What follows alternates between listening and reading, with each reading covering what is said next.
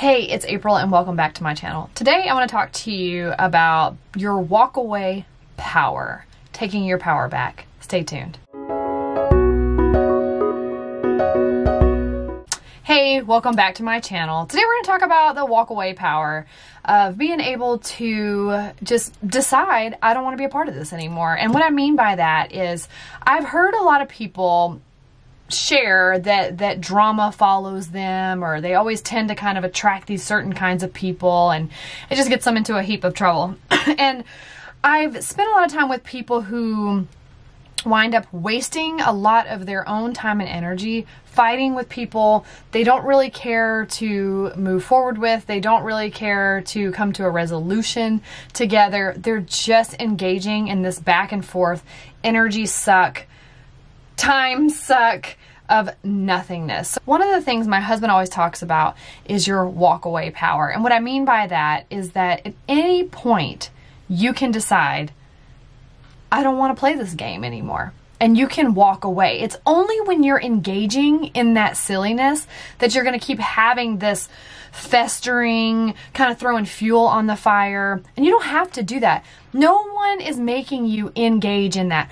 One of the hardest things I've ever had to do is bite my tongue when I really just want to air somebody out or point out all the things that they've done or said and violated this person and that person. And if you just hold that and don't even give it any more attention, it it hurts the other person so badly. And not that you want to inflict pain onto that other person, but you want to remove yourself from that situation because you don't want to be a part of it anymore. But when you decide to use your walkaway power and say, I'm not engaging in this, especially when you, like, again, like I said, there's no resolution to it. You're just engaging in nothingness. It's just a bunch of back and forth and backbiting and um, harming and hurting each other. If you use your walkaway power to say, I'm not engaging in this anymore, and um, I don't want to play this game anymore, and then you just literally walk away from it or figuratively walk away from it. Don't engage in it. Don't look in their social medias. Don't talk with friends about it. Just move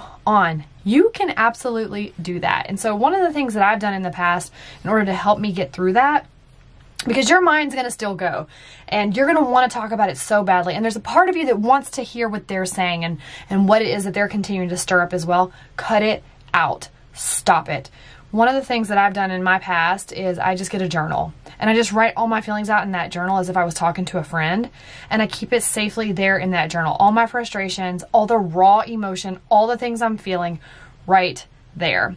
So the other thing is that my husband says is he says, how do you make something die? You starve it. So we call it in my home we call it starving the beast. Starving the beast is exactly what I just said. It's where you don't engage in it anymore. You don't put any more fuel on the fire. You don't um, give any more of your energy to it. You just simply move on. I think we have it in our head that things have to be really hard and that we can't move on from things. You can absolutely move on. Have you ever had one of those situations where you just all of a sudden don't, like, you don't care anymore? You're not having to, like, make yourself believe that you don't care anymore. You absolutely just don't care anymore you can do that anytime you want.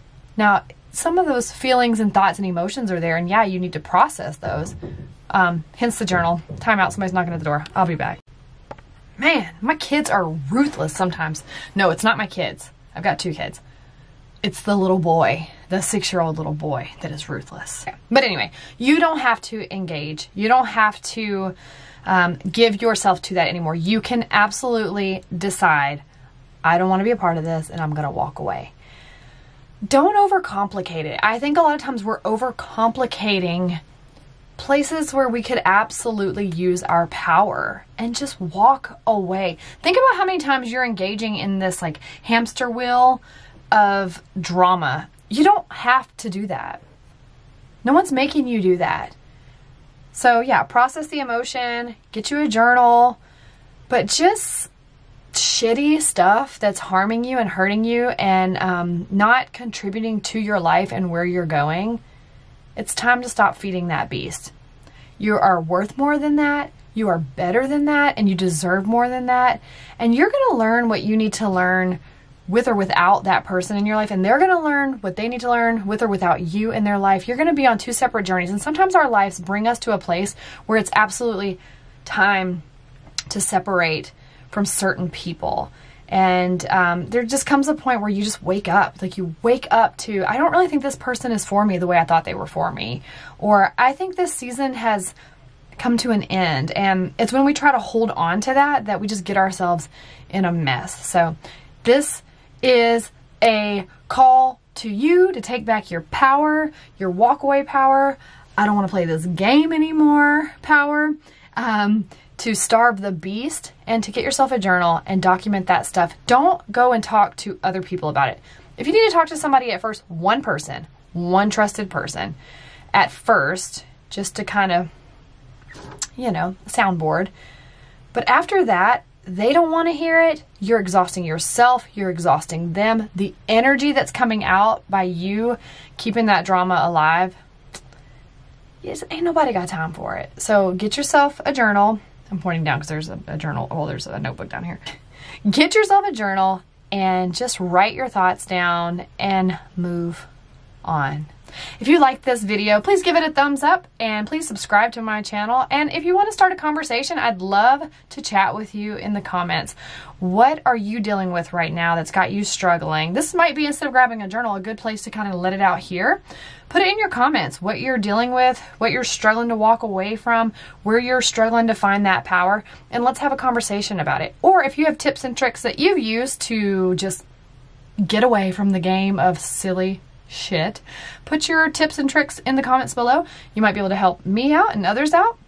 And it's just kind of like the gift that keeps on giving. Make it a good one. See you soon.